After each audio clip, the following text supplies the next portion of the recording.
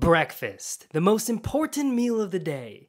Well, at least that's what we've been convinced, and more than likely, you're probably doing the wrong things because if you're crashing halfway through your workday, this video is for you.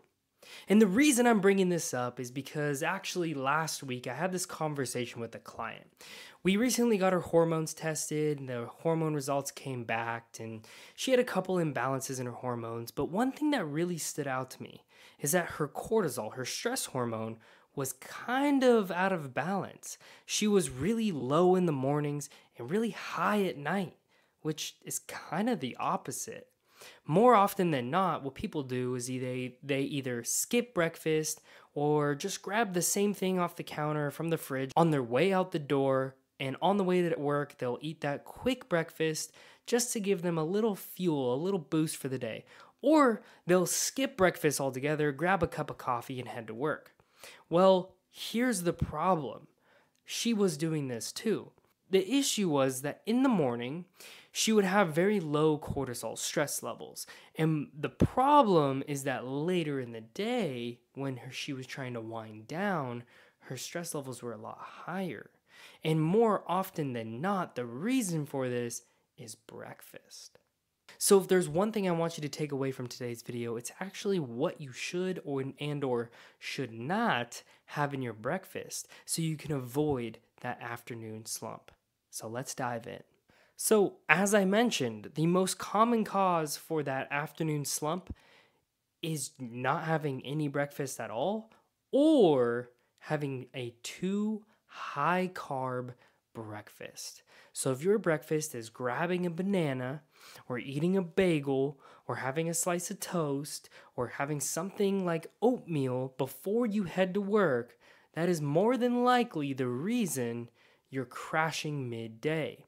And also, probably the reason you can't fall asleep at night probably the reason you lay in bed at night like damn i've been tired all day. Now when i lay in bed i just toss and turn. I can't fall asleep. It is so frustrating. By the way i've been there many times before when i didn't understand and know this and so this is what i suggest. Instead of grabbing that quick and easy thing in the morning for breakfast you need to change what you're eating in the mornings and so, the one tip I have for you is to focus on protein and fats. You really have two options for breakfast. You either have a balanced meal that is pretty equal in carbs, fats, and protein. So that way you don't see as high of an insulin spike in the morning, which, by the way, is another reason you lead to that crash later in the afternoon. Or you have something that is just fats and protein. The beautiful thing with the fats and proteins, number one, you're gonna be more satisfied. You're gonna be more satiated. You're gonna feel a little more full. I don't know about you, but when I have just a bowl of plain oatmeal, or just a banana, or just a bagel, or just a slice of toast, I feel so much more hungry after eating that. And the reason is because carbs will spike your insulin and actually increase your appetite. Where on the flip side, if we have something more fat and protein dense, you're gonna feel more satiated, more satisfied from the meal.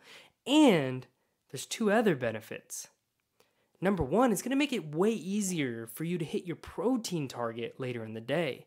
Because if you are on some sort of fitness journey, you're trying to build some muscle, you're trying to lose body fat, whatever your goal is, you likely should have a protein goal. And if you don't, that's a different, bigger issue. But if you are trying to hit a protein intake, which you should, you definitely want to have a higher protein breakfast because that's going to help you hit your protein goal later in the day. And the second benefit really comes from the sustained energy you get from fats and protein they're a little bit harder and slower for your body to break down. So typically, what you'll see is instead of this energy boost and crash halfway through your day, you're gonna slowly see your energy build up and kind of sustain throughout the rest of the day. Even when you have your lunch, you're not gonna feel full and sluggish and brain fog after you eat your lunch. You should feel more sustained energy throughout your day. So that way, when you get home from work, you have more energy still you're not feeling sluggish and just like you want to go lock yourself in your room and sit down and binge watch some Netflix, you might have a little more energy to actually like make it to the gym or even go on a little walk. Maybe take your kids to or dog to the park. Maybe spend time with your wife and have a deep, intimate conversation. But right now, the breakfast you're having is probably holding you back from a lot of those things in your life that are probably going to increase the quality of your life, all because you choose to have the wrong breakfast. But don't worry, it's not your fault. You didn't know this before. And that's why you're here. And so I hope that after watching this, you can take action. Just like my client did. Because I had a conversation with her today, and she came up to me and told me, Holy shit, I said, what? what? Why did you say that? And she goes, For the first time, I didn't have that crash in the afternoon. For the first time, I got home from work and I had more energy. I was able to tidy up the house a bit. I was able to go on a little walk. I was able to go watch the sunset on the beach. And I was like, What? Really? She was like, Yeah, I didn't even know I was able to do that. I just thought I was getting old. By the way, she's 53 years old. This is something that she thought was normal to feel like shit in the afternoons. But really, it was all because of one thing her breakfast. You may be surprised, just slightly shifting what you put in your body in the morning can have a dramatic impact on not just your goals, not just your results, but how you feel on a daily basis. So, just to remind you, the main things that you want in your breakfast is protein and fat. And by the way, it is okay to have carbs, but it's not ideal to overload on the carbs. So if you're gonna have a meal with carbs, just make sure it's nice and balanced. Another option that I just suggested to her to try was actually having one of those Oikos triple zero yogurts that's pretty much all protein. And what I'm having her try is to put a little bit of berries and a little bit of nuts in there. So you get some fats from the nuts, maybe a little protein. You get mostly protein from the yogurt and on top of that, you get a little bit of carbs from the blueberries or raspberries or blackberries. Also, you get some fiber from those berries. So that's also another benefit, which again will help you have sustained energy and also help your digestion if that's something that you're struggling with. Another option for breakfast will be having some overnight oats. But in the overnight oats, you want to have some nuts or peanut butter to add a little bit of fats, right? Because oats are just mainly carbs.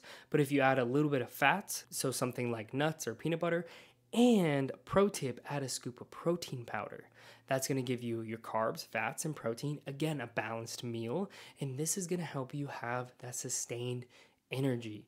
So I just gave you what four or five different options for you to try. And I guarantee you if you can swap those out for the breakfast that you're having now, which is like your banana, your oatmeal, your bagel, your toast, whatever it may be, just swapping out for something that is more balanced or focus on fats and protein I can almost guarantee you're gonna feel 10 times better throughout your day. So do me a favor, give this a try, and then send me a message on Instagram letting me know how this helped you, how you felt after trying. And if it didn't work, please also let me know so I can give you more tips and advice on how to adjust your meals to make it more sustainable, more enjoyable, and to help you feel your absolute best. Thank you again for tuning in. I really appreciate you taking the time to watch these videos, and I hope you have the absolute best day of your life. I'll catch you in the next one. Peace.